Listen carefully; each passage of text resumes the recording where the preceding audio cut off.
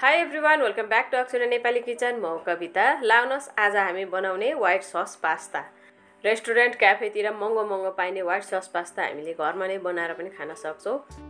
लाउनुहोस् सुरु गरौँ। आजको हाम्रो रेसिपी रेसिपी मन पऱ्यो भिडियोलाई लाइक कमेन्ट एन्ड सब्सक्राइब चाहिँ गरिदिनुहोस् है। लानु सबैभन्दा पहिला व्हाइट सस पास्ता बनाउनको निम्ति हामीले पास्ता उमाल्नुपर्छ। सो पास्ता उमाल्नलाई मैले यहाँ पानी उमाल्न राखेँ लगभग डेढ लिटर पानी छ होइन? त्यसमा अलिकति तेल र अलिकति नुन पनि राखिदिएँ। अब पानी बोइल भइसक्यो। पानी उम्लिसकेपछि हामीले पास्ता राख्ने। मसँग चाहिँ यस्तो लाम्चो खालको पास्ता छ हजुरसँग जुन पनि पास्ता छ प्रयोग गर्नुहोला। लगभग टु हन्ड्रेड ग्राम जति पास्ता छ यहाँ। पास्ता राख्ने बित्तिकै उम्लिँदै गरेको पानी पनि एकछिन सेलाउँछ तर अब एकछिनमा फेरि उम्लिनु थाल्छ होइन? एकपल्ट चलाइदिने।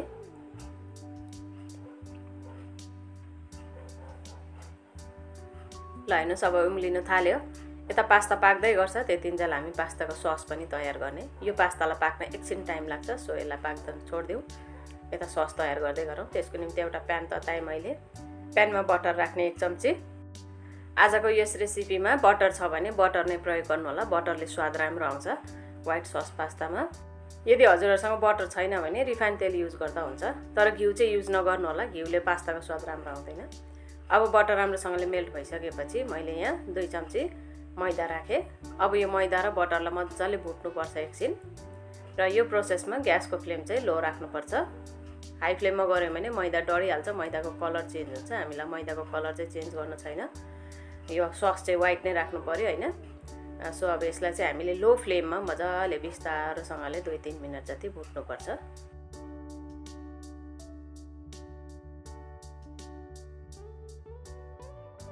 ल हेर्नुहोस् मैले लगभग तिन मिनट जति भुटिसकेँ मैदा र बटरलाई। तर अब योभन्दा अघिको प्रोसेस गर्नुभन्दा पहिला चाहिँ यता पास्ता रेडी भइसकेको छ। म हजुरहरूलाई पहिला पास्ता निकालेर देखाउँछु अनि त्यसपछि चाहिँ सस बनाउने। ल त हाम्रो पास्ता पाकिसकेको छ मजाले। पास्ता उमाल्दा ध्यान दिनुपर्ने कुरा भनेको चाहिँ पास्तालाई धेरै ओभर कुक गर्न हुँदैन। आजको रेसिपीमा पास्ता चाहिँ सलिड सलिड नै रहनुपर्छ।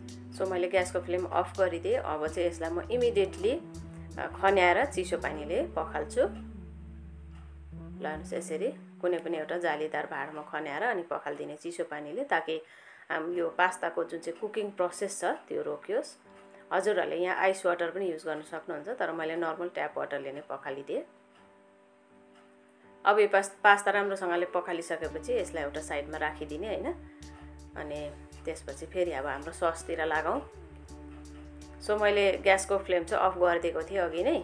त्यही भएर अब डढेन यो नत्र चाहिँ फेरि डढिहाल्छ। म चाहिँ यहाँ हजुरहरूलाई के सजेस्ट गर्छु भन्दाखेरि पहिला पास्ता बोइल गऱ्यो अरे अनि मात्रै सस बनाउनु होला नभए दुइटा काम एकैचोटि गर्दा चाहिँ केही गडबड हुने सम्भावना हुन्छ। सो अब फेरि मैले ग्यास अन गरेर यसलाई अझै एकछिन पाँच दस सेकेन्ड जस्तो चलाएँ। अनि त्यसपछि चाहिँ अब यहाँ दुध राखेर यसलाई चलाउने। अब अलिकति डिफिकल्टी भनेको यहाँ हुन्छ हामीलाई। यो मैदा घोलिन चाहिँ अलिकति साह्रो हुन्छ। त्यही भएर एकैचोटि धेरै दुध राख्नु हुँदैन। थोरै थोरै दुध राख्दै यसरी स्प्याचुलाले मजाले चलाउँदै गर्दाखेरि यसको सबै गाँठो खोलिन्छ होइन? यसमा यो डल्लो डल्लो परेको सबै हामीलाई स्मुथ ब्याटर बनाउनुपर्छ। एक्चुली अब सस भनेपछि त स्मुथै हुनु पऱ्यो नि त होइन? एकछिन टाइम लाग्छ दुई तिन मिनट जति हामीले यसरी घोल्यौँ भने। हजुरहरूकोमा विस्कर छ भने विस्कर युज गर्दा पनि हुन्छ। त्यसले अझै छिटो हुन्छ।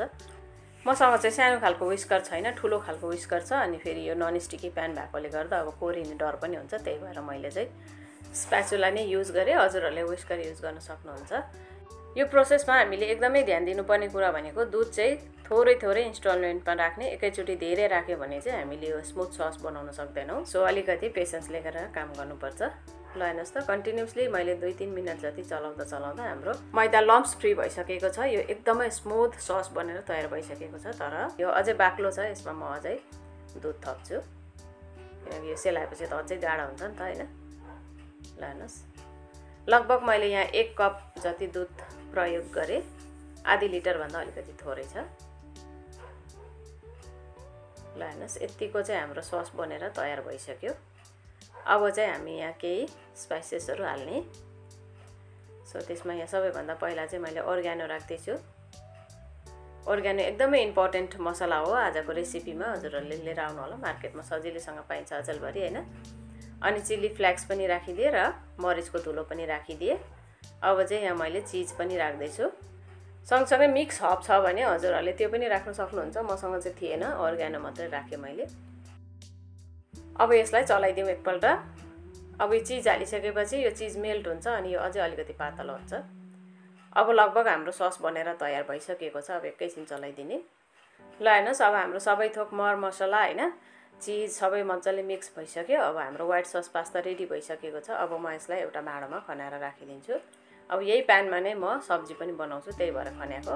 यदि हजुरहरूसँग दुईवटा प्यान छ दुईवटा भाँडा युज गर्नुहुँदैछ भने खनाउनु पर्दैन।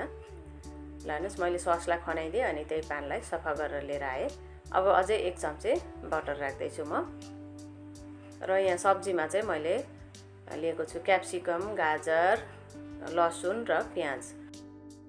अब सबैभन्दा पहिला बटर मेल्ट भएपछि लसुनलाई राखिदिने। लसुनलाई एकैछिन एक मिनट जति भुट्ने कलर चेन्ज गर्नु पर्दैन जस्ट अलिकति भुट्ने मात्रै। आजको रेसिपीमा लसुन एकदमै इम्पोर्टेन्ट इन्ग्रिडियन्ट हो। अनि लसुन अलिअलि भुटिएपछि अरू बाँकी सब्जीहरू जे जे थियो सबै राखिदिएँ। सब्जीमा हजुरहरूलाई जे जे मन लाग्छ त्यही त्यही राख्नु होला जस्तो कि यहाँ अब मसरुम राख्न सकिन्छ ब्रोकौली राख्न सकिन्छ होइन। अब चाहिँ नुन पनि राखिदिएँ मैले दुई तिन मिनट भुटेपछि। त्यसरी नै चिल्ली फ्ल्याक्स पनि राख्दैछु ओर्ग्यानो पनि राखिदिएँ मैले। हजुरहरूले मिक्सअप पनि युज गर्न सक्नुहुन्छ अनि पिरो धेरै मनपर्छ भने मरिच पनि राख्नु होला। अब यसलाई फेरि मिक्स गरिदिने राम्रोसँगले। नुन राख्दाखेरि चाहिँ हामीले ध्यान दिनुपर्छ बटरमा पनि नुन हुन्छ होइन? त्यही भएर थोरै थोरै नै राख्ने।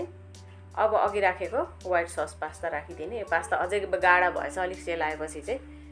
अब यो पास्ता गाढा भयो भने के गर्ने? त्यो पनि म हजुरहरूलाई भन्ने छु भिडियो हेर्दै गर्नु होला पहिला चाहिँ यसलाई मिक्स गरिदिउँ राम्रोसँगले चलाइदिउँ। अब सस गाढा भयो भने चाहिँ के गर्ने भन्दाखेरि अलिकति दुध अथवा पानीलाई तताएर राखिदिने। मैले चाहिँ यहाँ अघिको सस राखेको भाँडामा नै त्यसमा अझै सस पनि थियो होइन। त्यसमा अलिकति दुध थपेर त्यसलाई राम्रोसँगले मिक्स गरेर खनाइदिएँ। अब अलिकति पातलो भयो हाम्रो यो सस। यसलाई राम्रोसँगले चलाइदिने अब। अब धेरै पकाउनु पर्दैन किनकि हाम्रो सबै थोक पाकिसकेकै छ होइन। अब चाहिँ हामी पास्ता राख्ने अघि उसिनेर राखेको।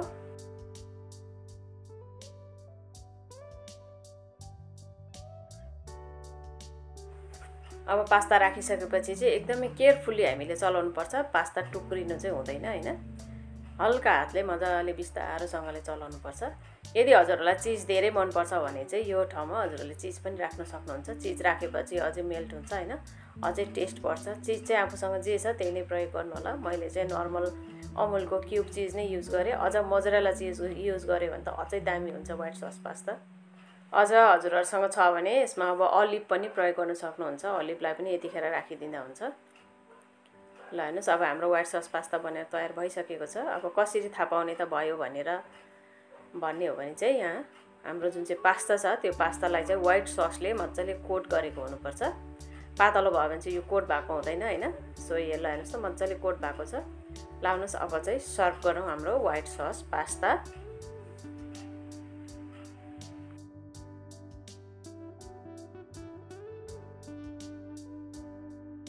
अब सर्भ गरिसकेपछि हामी माथिबाट मरिच चिल्ली फ्लेक्स र ओरिगानोले गार्निसिङ गरिदिने अनि चाहिँ खाने तात तातो यो व्हाइट सस पास्ता चाहिँ तात तातो नै खाँदा राम्रो हुन्छ सेलायो भने त फेरि गाढा भइहाल्छ होइन? सो हजुरहरूले पनि यसै गरेर बनाएर खानु होला अनि हजुरहरूको रेसिपी कस्तो बन्यो कमेन्ट पनि गर्नुहोला। साथै आजको भिडियो हजुरहरूलाई मन पऱ्यो भिडियोलाई लाइक कमेन्ट सेयर र च्यानललाई सब्सक्राइब गरेर साथमा रहेको बेल आइकन दबाएर अलमा क्लिक गर्न चाहिँ नबिर्सिदिनुहोस् है। हवस् त फेरि भेटौँला अर्को भिडियोमा। Till then bye thanks for watching